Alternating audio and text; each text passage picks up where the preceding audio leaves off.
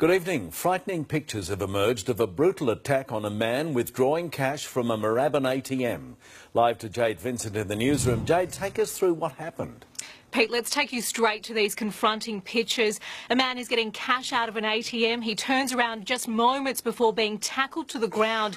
Two of the three thugs kick and punch him, striking him with a weapon, while one of the offenders jumps in the driver's seat of his car. As that man, aged in his 50s, struggles to his feet, the attackers run off. They get away with the Land Rover as well as the victim's cash and credit card.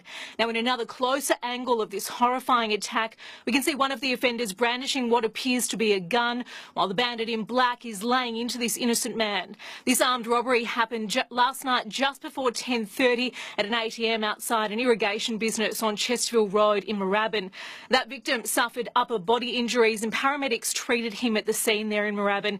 This is an industrial area but well lit and you can see all of these offenders have their faces covered and are wearing dark clothing, hooded jumpers and gloves.